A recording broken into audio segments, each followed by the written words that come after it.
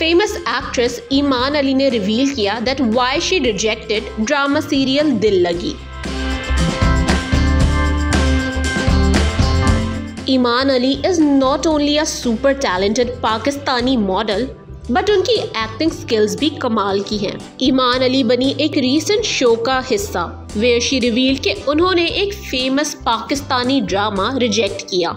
और ईमान ने अपनी ख्वाहिश का भी इजहार किया that she would love to work with Humayun Saeed Iman ने बताया कि आई विश मैंने ये ड्रामा किया होता।